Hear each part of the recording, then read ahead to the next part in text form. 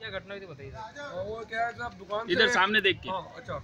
दुकान से मतलब जा रहा था घर तो पुष्करगंज में या तीन लड़के पीछे पड़ गए थे। एकदम मिर्ची डाल दी और पीछे मेरा मुनीम भी बैठा होता था तो उसके भी थोड़ा पीछे मार दी।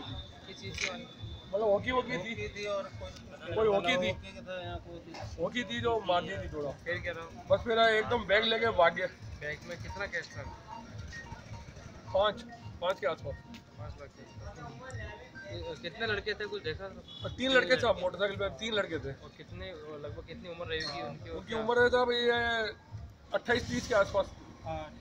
उन्होंने तो आपस में बात बात करते सुना आपने कुछ आपस में? बस जैसे मैं स्कूटर पुष्करगंज के अंदर ले लेके गया था ना और वो भी एकदम पीछे आ गए। तो आपस में लड़के कुछ आपस में कुछ बोल रहे थे उन्होंने बस वो कोई बात नहीं था एकदम मोटरसाइकिल ने थोड़ा आगे ले ली और फिर एकदम एक जने ने मिर्ची डाल दी और एक जने इसको थोड़ा लगा दिया।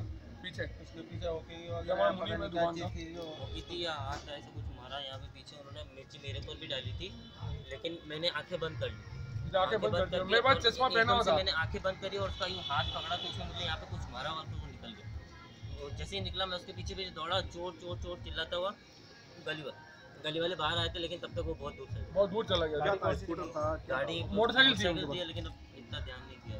मोटरसाइकिल थी। आपका नाम क्या? मेरा नाम जीतू। जीतू जीतू पिताजी का? टिकम जीतू कहाँ रहता है? सुंदरनगर।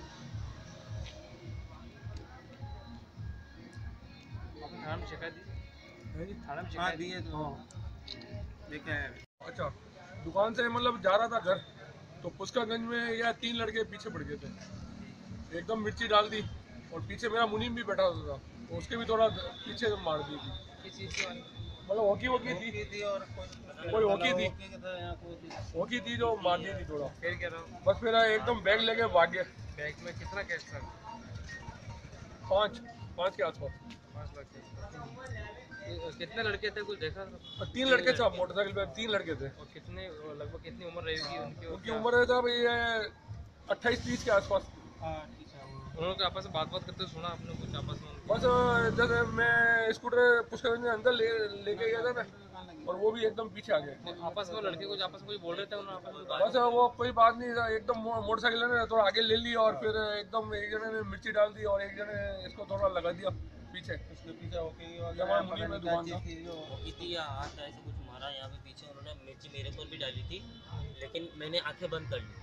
जाके बंद कर दिया। मेरे पास चश्मा पहना हुआ था। मैंने आँखें बंद करी और उसका यूँ हाथ पकड़ा तो उसने मुझे यहाँ पे कुछ मारा और फिर वो निकल गया।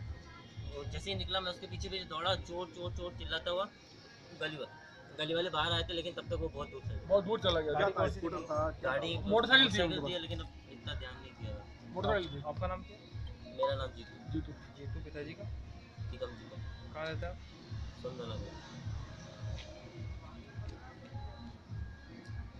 आपने थाना में शिकायत दी?